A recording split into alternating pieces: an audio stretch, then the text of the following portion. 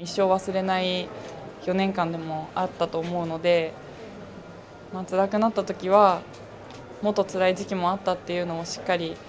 思い出しながらどんどん前に進めたらなと思います。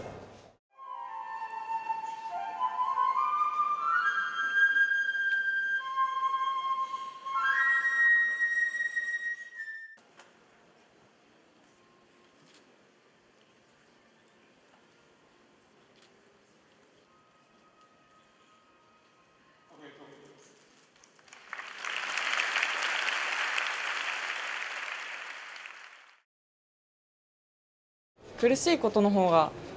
多かったですしうーんなんか悩んで自分がどうあるべきかとかもう本当にいろんなことを考えて過ごした4年間だったし、まあ、本当に生きるか死ぬかを経験した4年間でもあるしなんか本当に多分誰よりも充実した4年間は遅れてたんじゃないかなと思います。母にはやっぱり病気の時ももちろん母だけじゃなくて家族だったり周りに支えてくれた人たちもそうなんですけど、まあ、私がそういうふうにすごく、まあ、生死をさまよう状況になってもずっとそばにいてくれた方たちだったり、まあ、今こうして心の中ですごく悩んでる部分があってもずっとそばで支えてくれたり裏で後ろで支えてくれてる人たちには本当に、